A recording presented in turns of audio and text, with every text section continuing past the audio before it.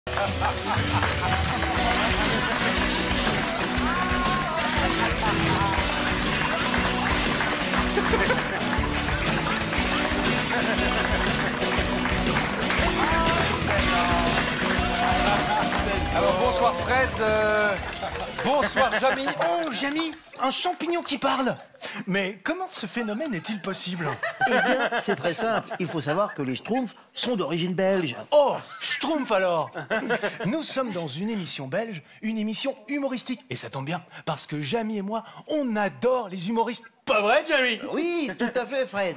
Mais est-ce que ce n'est pas le moment que tu me poses une question puisque j'ai payé pour ça depuis 30 ans J'y venais, Jamy. Jamy, un humoriste, comment ça fonctionne? Eh bien, c'est très simple. Un humoriste, c'est un homme ou une femme qui possède des yeux. Ils sont au nombre de deux. Et ces yeux lui permettent de observer le monde qui l'entoure. Il possède également deux oreilles, une ici et l'autre là, qui lui permettent d'écouter le monde et tout ce qui se passe. Et c'est grâce à ces organes sensoriels que l'humoriste collecte des informations. Oui, j'a- j'a- j'allais y venir, Fred, j'allais y venir. Ah, c'est- D'ailleurs, c'est pour ça que France 3 t'a viré et que moi, je présente l'émission tout seul. Voilà. Et donc, qu'est-ce qui se passe? L'information remonte jusqu'au cerveau qui se trouve ici, sur le crâne.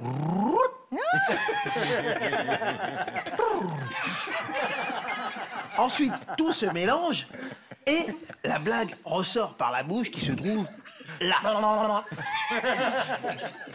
Et ça marche comme ça avec tous les humoristes, Jamy? Pas tout à fait, Fred. Pour certains humoristes, c'est beaucoup plus simple. Ils prennent un humoriste anglophone dont ils traduisent les textes dans leur propre langue et hop, tu obtiens un spectacle de Thomas Sisley. Ou de Gad Elmaleh Oh, à propos, Jamy, j'ai une bonne blague, je crois. Regarde, je tire sur mon doigt et hop C'est ça une blague, Jamy? Oui, alors, non, pas, pas, pas partout. Mais euh, en revanche, ici, oui. Euh, manifestement, tout le monde se bat. C'est donc peut-être même la meilleure blague depuis l'histoire de cette émission. Et tu l'entends, la blague provoque ensuite le rire euh, par la bouche. Euh, et d'ailleurs, pour ne pas mourir con, Jérôme, est-ce que tu veux que je t'explique ce qu'est le rire? Non, non, non, non, non, non. Écoutez, c'est gentil de vous occuper de ma préoccupation Jamy, artistique. j'ai une mais- autre blague. Ah non. Regarde, dans mon veston, j'ai une fleur. Mais ce n'est pas une fleur comme les autres. C'est une fleur qui crache de l'eau. C'est rigolo Pas vrai, Jamy Oui, Fred. C'est rigolo Oui, parce qu'une vraie fleur ne crache pas de l'eau.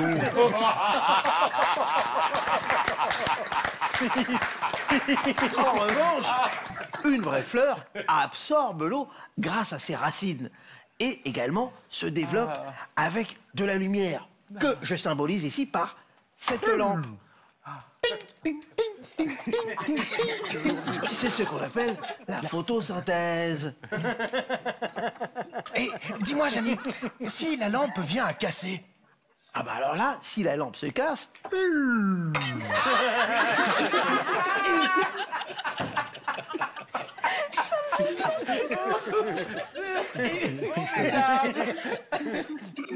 Bonne question Oui, si la lampe se casse. Oui, et bonne question de... eh, si la lampe se casse, il suffit de la donner à Philippe Gueluc, qui ensuite va la porter chez Récupel.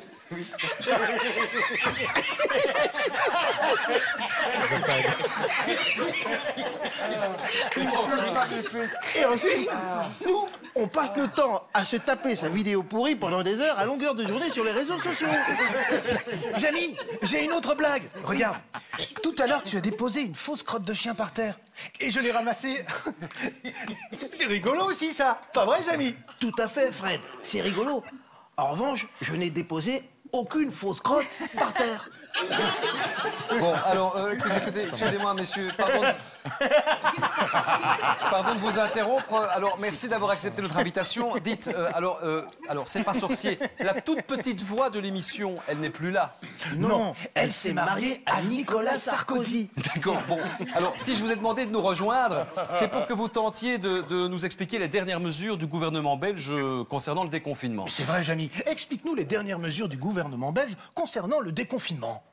Eh bien, c'est très simple. cette guirlande de Noël, c'est le gouvernement belge. Vous voyez, il y a différentes couleurs politiques qui représentent différentes personnes. D'accord. Et comment faites-vous pour la démêler? C'est vrai ça, Jamy Comment fais-tu pour la démêler? Eh bien, ça n'est pas possible. En revanche, ce qui est possible, c'est de brancher cette guirlande comme ceci. Et tu vois, le peuple belge se démerde tant que ça clignote. Et si ça ne clignote plus, Jamy Eh bien, si ça ne clignote plus, c'est pareil. Le peuple belge se démerde de la même façon. Eh ben maintenant j'ai compris. Eh ben maintenant j'ai compris. J'ai compris. Dites une question. Euh, pourquoi ne puis-je pas aller dans une salle de spectacle alors que beaucoup de bus sont ou de trams sont bondés? Bien vu, petit champignon qui parle. C'est vrai, Jamy. Pourquoi ne puis-je pas aller dans une salle de spectacle alors que tous les trams sont bondés? Dites, vous n'allez pas répéter tout ce que je dis quand même. Mais Enfin, Jamy, je ne vais pas répéter tout ce qu'il dit quand même. Non, c'est- non, non, parce que ça commence vraiment à nous énerver. Bref. Vulgarisons. Oui, oui, vulgarisons. Prenons nos deux animateurs télévision. Oh Il y en a un qui a une tête vide, Jamy. Oui, euh, euh, tout le monde sait c'est lequel, hein, même, même un pied de table aurait compris. Bref, voici nos deux compères à la recherche d'un programme. Ils vont soit au théâtre qui est ici, soit prendre un tram. Ils hésitent. Dis donc, Adrien, ce n'est pas un théâtre Mais pas du tout, Jérôme. C'est une boîte à chaussures. C'est pour ça que ton crâne est vide. Mais avant de poursuivre. avant de poursuivre, Fred, peux-tu nous en dire plus sur la problématique des gouttelettes? Tout à fait, Jamy. Regarde, ce ventilateur, c'est ma bouche. Hop. Piou. Et cette bouteille d'eau représente ma salive. Lorsque je parle, de fines gouttelettes sont projetées vers mon interlocuteur.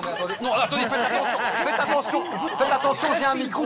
Mais si je commence à parler plus fort, les gouttelettes deviennent de plus en plus grosses. De plus en plus grosses. Et le Covid, et le Covid-19 se propage vers la personne qui est en face de moi. 好吧。Bravo pour cette explication, Fred Parce qu'on n'avait pas compris en répétition. Mais non Ah donc, tu as- oui, vous avez raison de souligner. Vous pouvez éteindre ce truc maintenant, je pense. Euh, Je vous remercie, Fred. Il l'a rincé. Ça ne, ça ne répond pas à la question. D'abord, pourquoi avez-vous fait ça puisqu'on a dit qu'on ne le faisait pas? Et ensuite, pourquoi pourquoi, pourquoi dans un tram et pas dans un théâtre? Parce qu'il faut bien qu'on continue, quoi. Mais si, regarde, c'est Une seconde. Est-ce que tu sais que c'est ta dernière émission ceci représente le théâtre. Oui, le ceci représente le théâtre. Ceci, nous le plaçons face aux gouttelettes. Vu l'équipement technique qu'il y a à l'intérieur, tous les spectateurs seraient électrocutés. Chouette. Oui, mais enfin, c'est complètement stupide parce qu'un tram fonctionne aussi par l'électricité.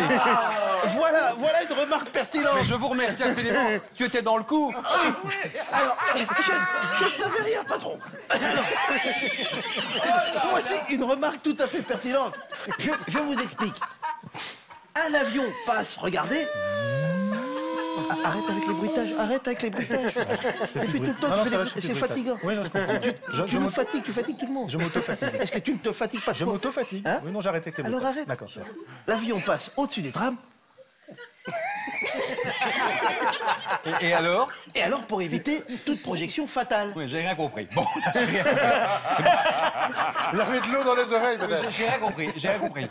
Moi, je crois quand même que vous essayez de vous en tirer en nous disant n'importe quoi. hein. Euh, oui, c'est tout à fait, c'est ce qu'on appelle la technique de communication du gouvernement belge. Bon, c'est ça. Alors, oui, alors, comment se passe cette communication? Oui, bah expliquez-nous, oui. Eh bien, c'est très simple. Nous allons reprendre le théâtre. Nos deux compères vont vers le théâtre, mais ils ne peuvent pas y accéder. Ah bah non. En revanche, Oui.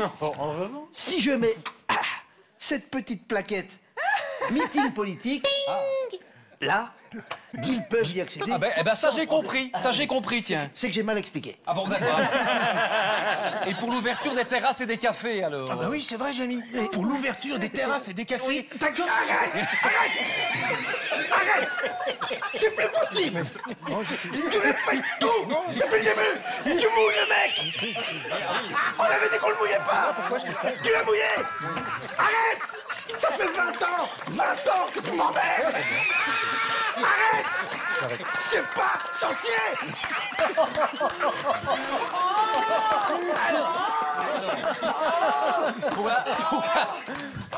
pour l'ouverture des cafés. Eh bien, c'est bien simple. Car le Covid-19 que voici n'aime pas les restaurants. Alors il y va. Bon, et il casse tout. J'aime pas les restaurants. J'aime pas. Il casse tout, il casse tout, il casse tout. Il n'aime pas les restaurants. Oh, c'est dangereux. C'est pour ça qu'on a fermé. Parce que le Covid-19, il casse tout. Excusez-moi. Il casse tout. Ils sont sortis de l'asile, en fait. Ils sont sortis de l'asile, c'est pas possible. En revanche, ils ont promis de rouvrir les terrasses. Et là, le Covid-19, il n'aime pas non plus les terrasses. Alors il tente de casser, sauf que là, il n'arrive pas à casser. Il n'arrive pas, on ne sait pas pourquoi. Alors il s'en va. Il s'en va. Et les gens peuvent déjeuner tranquille, en terrasse, manger un bout ou boire un verre. On ne sait pas pourquoi.